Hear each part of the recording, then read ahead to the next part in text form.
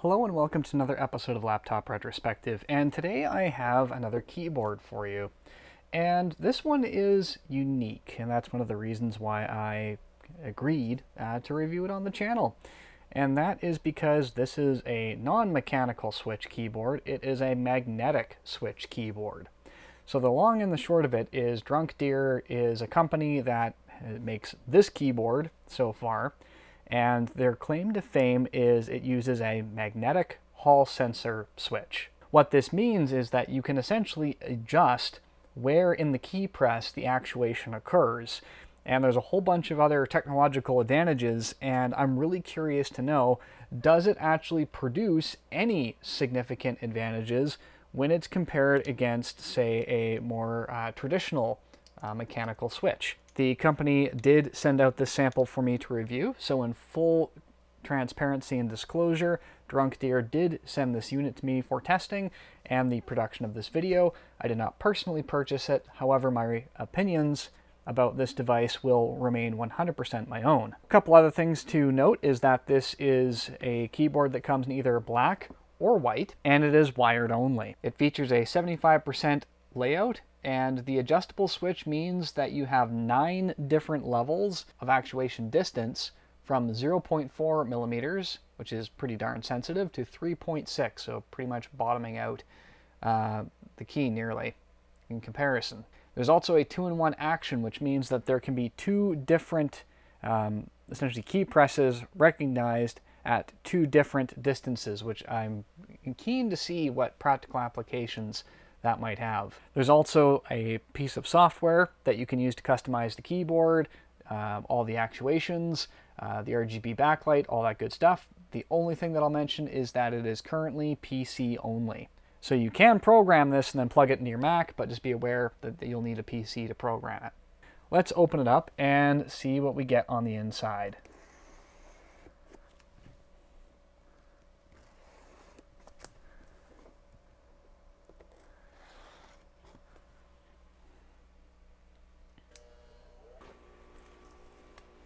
All right, inside we have a quick guide. Uh, please do not place the keyboard in a high temperature or strong magnetic environment. That makes sense. Magnets will respond very funny to those two things. And we have uh, some instructions on how to adjust the actuation point of all the keys, how to change the backlight color. Now this is for certain effects only. Obviously the software is going to give you a lot more. Uh, different pre-programmed backlighting effects, how to switch it from a Mac OS layout to a Windows layout, and it gives you a warning about the programming and all that other good stuff. Up here we have some keycaps, which I'm guessing are my Windows keycaps because it looks like my Mac ones have been installed already from the factory. And then in the little baggie here, I'm expecting to see perhaps a key puller, and a USB cable. And does not disappoint. So we have a USB Type-C to USB Type-C with a USB Type-C to Type-A adapter. We have our key puller, or key cap puller I should say. And then we have the keyboard itself.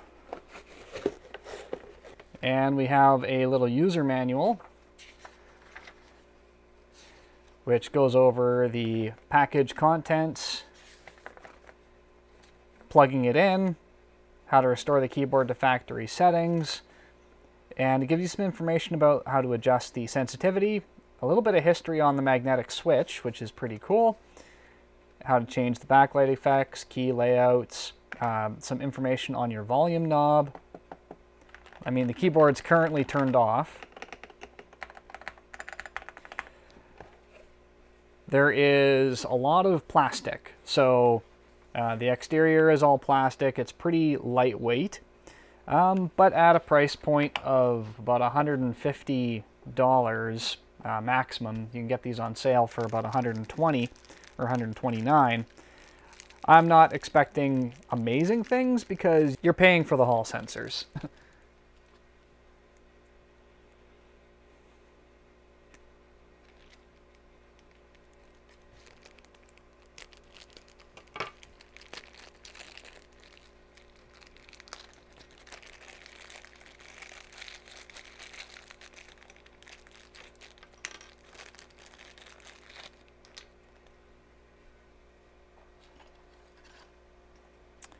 All right, let's get these Mac keycaps off.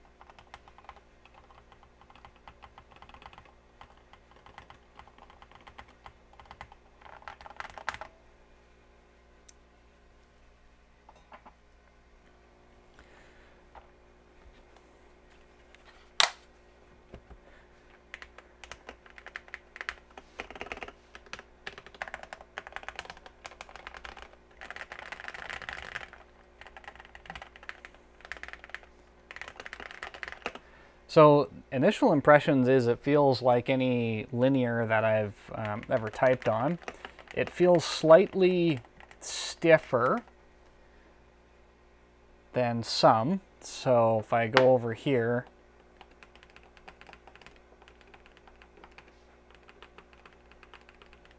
might be on a little bit of heavier side of a red, very hard to tell.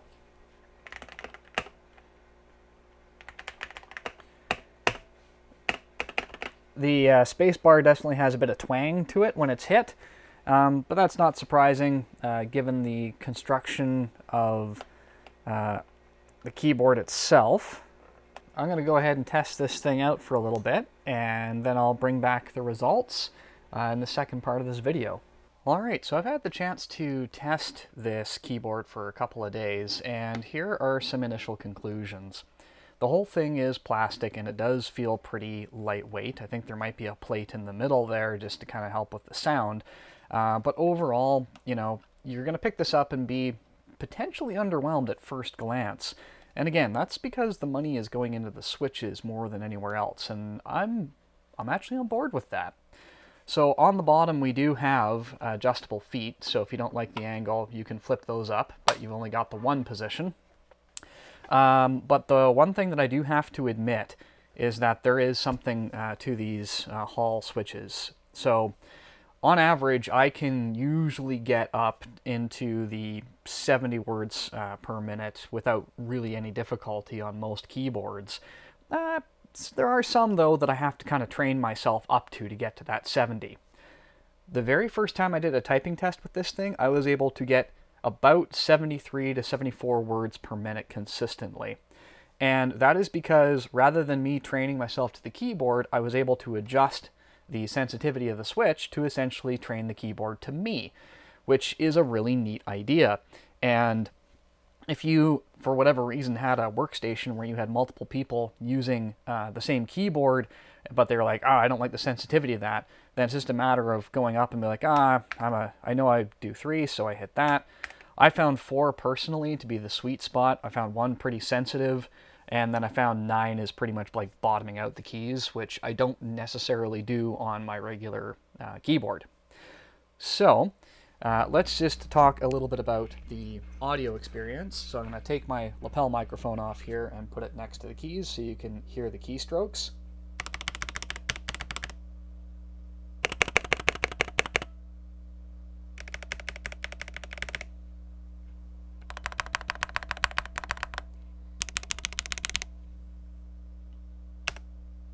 So I would describe it as having a bit of an echo and a twang to it um, but again, that's probably just because what the case is actually made out of. Uh, but overall, not offensive to the ears at all.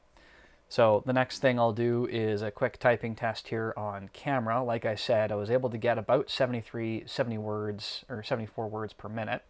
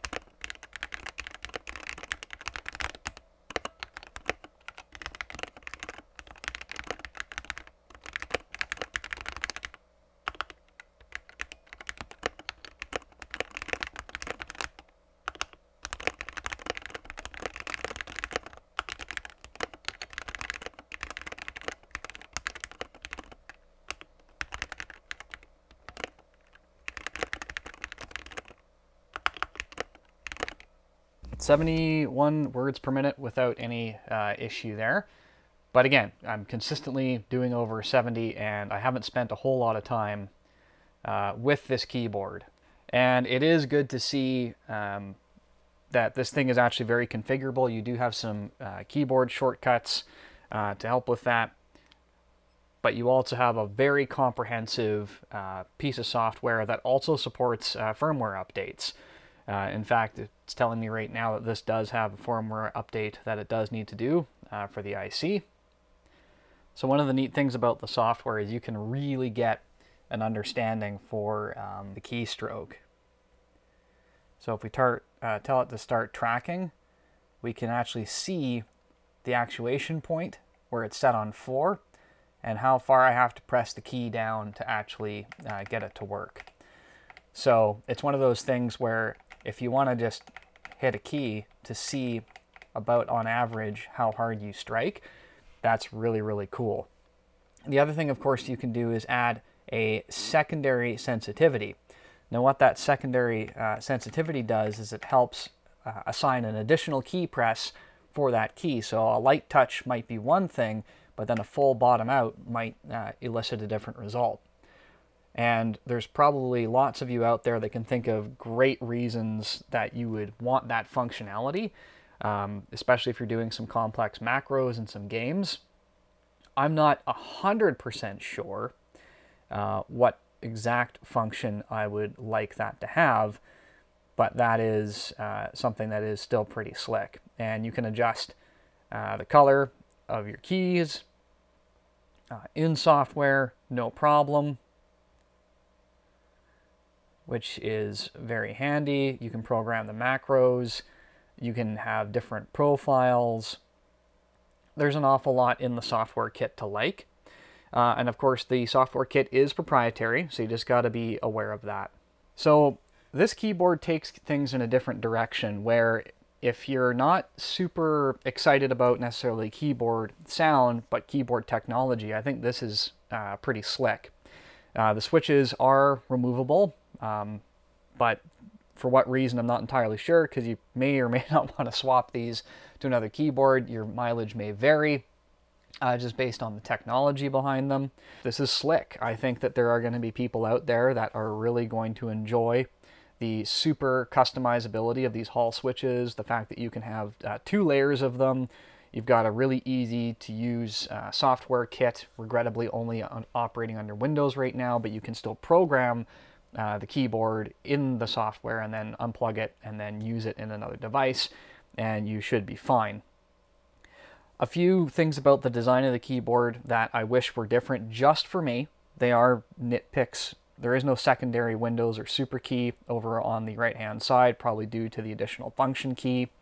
Um, there is no print screen uh, button immediately here. I could obviously program one in the software to completely alleviate that, uh, but I don't have any extra keycaps to swap that out, so I would need to remember that uh, I would need to do that. So I think the only way you could really get around that is if they included extra keycaps in the box for some of the other settings, so that way if you wanted to reprogram the home page up and page down and end keys, um, you could just pop those keys off, reprogram them in the software, and then put the keycap on. So that would be the only thing that I could think of to really improve. So if you don't want these, you could swap them out to something else. Overall though, really think that this is cool. Uh, I think it's something that's really different, which is one of the reasons why I wanted to feature it on the channel. And if you have any questions about it, make sure you're leaving them in the comments section down below. I'll leave some links on where you can buy one of these if you want one for yourself. I'm going to thank Drunk Deer for sending this to me. I think it's, again, really cool, this whole idea of a completely different switch technology. And it does have some real benefits. It's not just a gimmick.